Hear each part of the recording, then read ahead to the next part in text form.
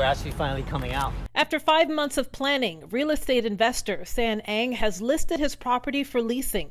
We need more cool, affordable micro units and the flex spaces just because of all the travelers and nurses and entrepreneurs. San says he developed apartments at Satoshi Hideout within walking distance of three local hospitals in downtown St. Petersburg yeah. to meet that need. Each of the 40 units are fully furnished and include bath and kitchen amenities. Nurses typically have like maybe three month contracts. In addition to the non traditional and short term leases being offered. Yeah. Winter is almost over, referring to the crypto winter. San's development is dedicated to the theme and lingo of cryptocurrency. The, the mysterious founder of Bitcoin is Satoshi Nakamoto, but it's a pen name.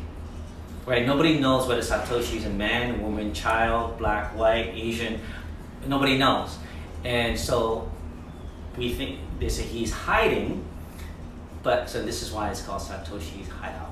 Artwork and murals throughout the building tell the story of the founder of Bitcoin, the first cryptocurrency founded in 2009. The digital currency is powered by a network of users who verify and record transactions without relying on a central bank. Artist Adam Longacre illustrates Satoshi's story with the mural. I really like the kind of revolutionary story uh, of him and, and how he's giving power back to the smaller people and taking it away from the, the larger banks.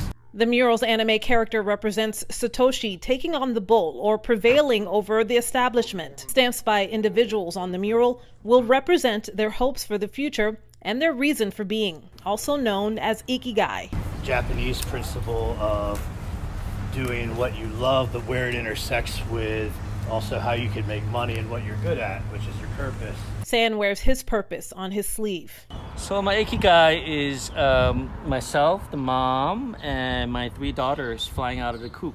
And this is the symbol for ikigai, yeah.